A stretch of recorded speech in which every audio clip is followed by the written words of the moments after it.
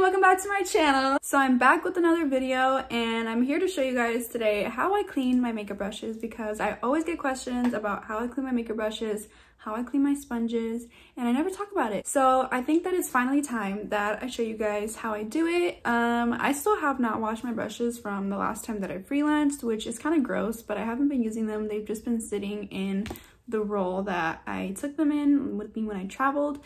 So I need to get to cleaning those. I figured now is a perfect time more than ever because I need to clean my brushes anyway and I might as well show you guys now that I'm actually active on YouTube.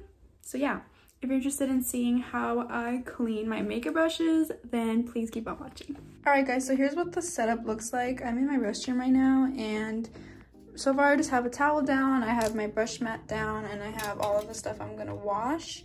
So these aren't all of my brushes, they're just the ones that are currently dirty. So when it comes to washing my brushes, I'm very lazy and I tend not to do it until um, all of them are dirty, but currently only this many are dirty.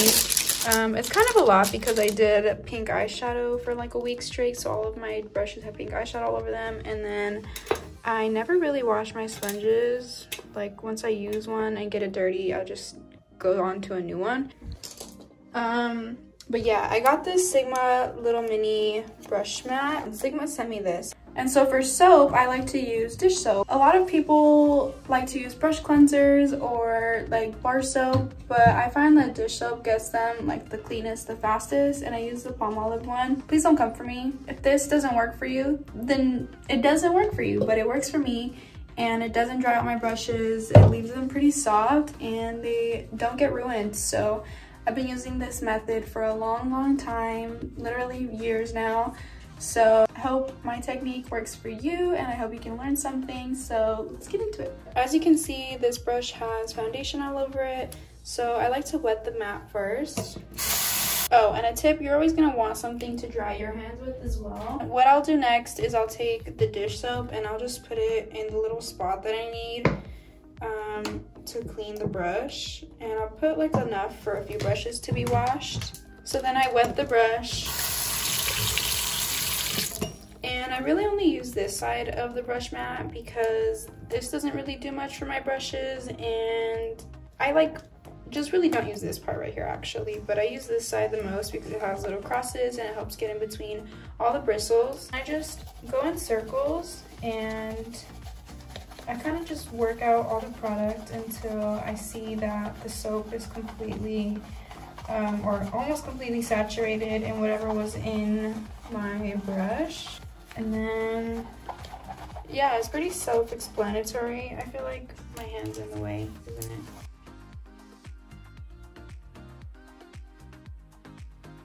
So then once I have that brush like kind of completely scrubbed, I'm gonna go ahead and rinse it out. And I like to rinse them facing down, that way all the water can drip out and I reduce the chance of getting water inside the handle. And as I'm rinsing, I like to kind of just move through the bristles like this. That way I can get all the makeup out of it or whatever water's out of it and it also helps wring it out um, a lot quicker. Now, if by then the brush is still not clean, I'll take a little bit more soap onto the wet pad and then I'll just continue scrubbing it until it is coming out clean. And usually I know the brush is clean when the soap bubbles are no longer the color of the product on the brush or if the soap bubbles on the brush are white like this one. And you can help get extra product out by squeezing at the base of the brush and kind of pushing some of the product forward. But if your brushes are a cheaper quality and the glue is just not um, holding up you do risk pulling out the bristles but that's something you could decide to do.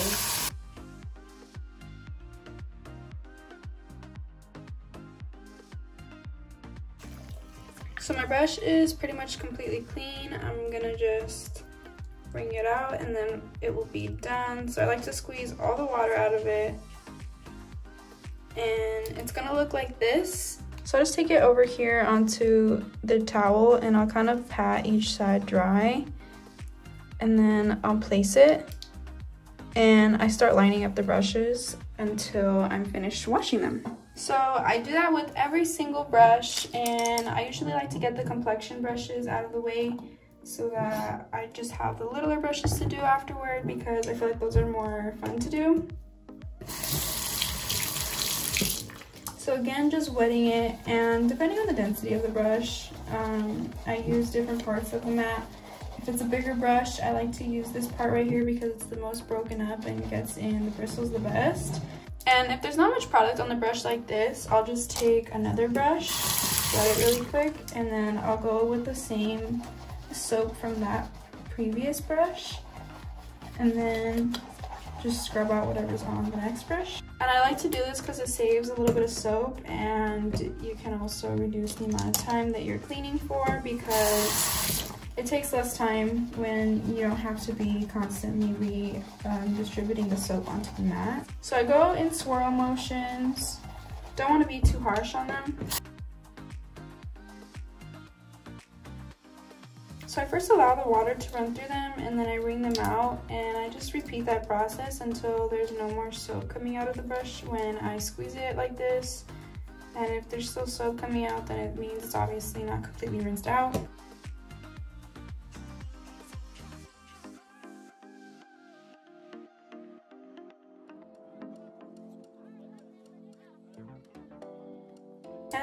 Good to just keep up with washing your brushes because if your brushes are dirty, they could contribute to breakouts and we obviously don't want that. Now with the smaller brushes, since there's not as many bristles and there's not as much brush to wash, it's easier to just go in with straight soap and you don't have to rinse the brush. Whereas with the bigger brushes, like complexion brushes, you'd have to rinse before going into the soap. But since these are so small, it's really easy to just go in directly. So like I said, I make use of the soap as much as possible before rinsing it down. And I'm just grabbing a few um, different eyeshadow brushes, going back over this.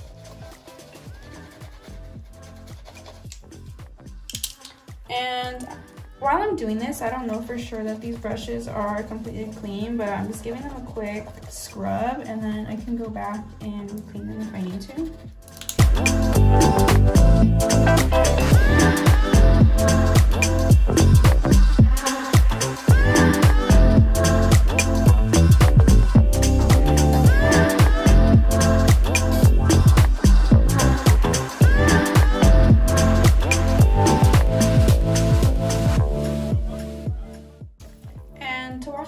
I use warm water. I forgot to mention that, but warm water um, helps kill the bacteria without drying out the bristles.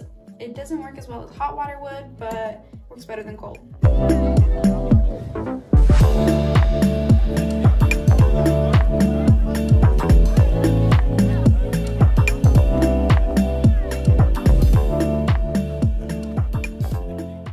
So I'm just gonna go ahead and finish up the rest of my brushes and then I'll show you guys what it looks like when I wash my sponges.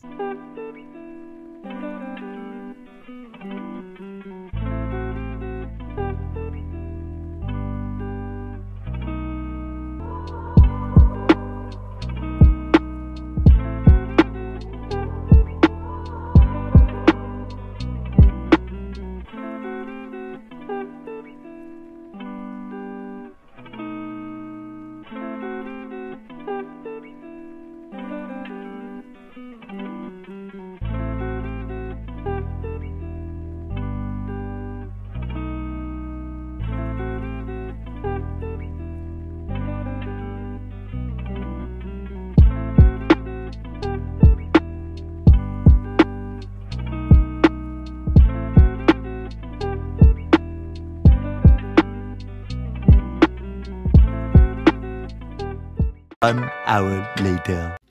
Okay, so now I'm done with my brushes. We're gonna move on to sponges. And before I wash my sponge at all, I'm gonna go ahead and rinse it out and completely saturate it with water.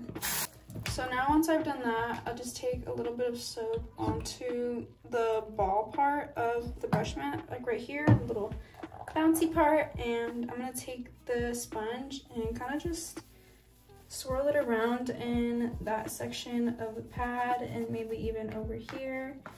But I'm just trying to get the surface makeup out of here right now.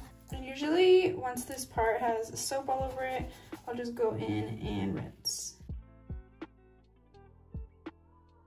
And as I'm rinsing, I'm squeezing and pushing the product out of the sponge. So I'm just gonna go ahead and go around and I'm kind of squeezing.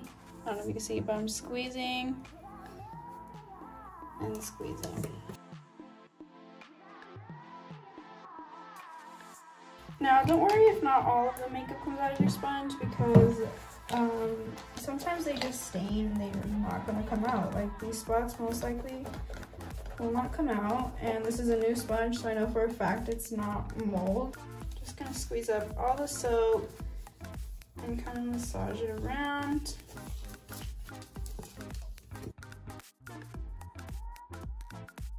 And as you can see, squeezing it kind of brought up some more of that makeup. So it really makes you it really makes you think how much product is really in your sponge. It's crazy.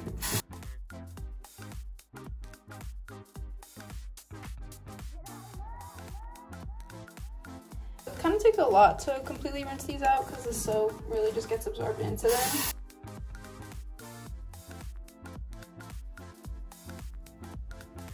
So this honestly is crazy how much of a difference it makes.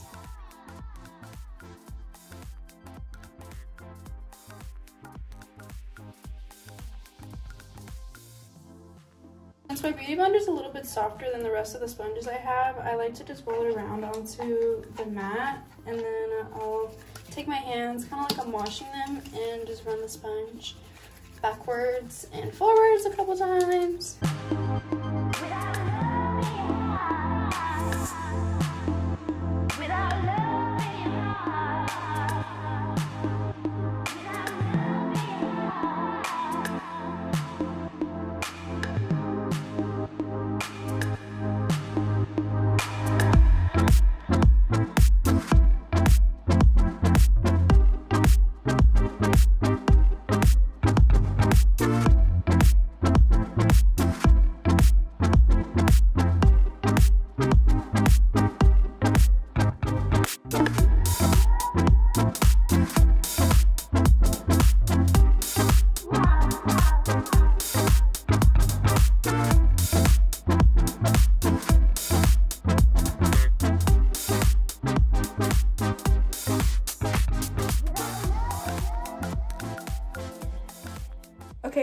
That's it. All my brushes are clean and I can finally sit down and chill out.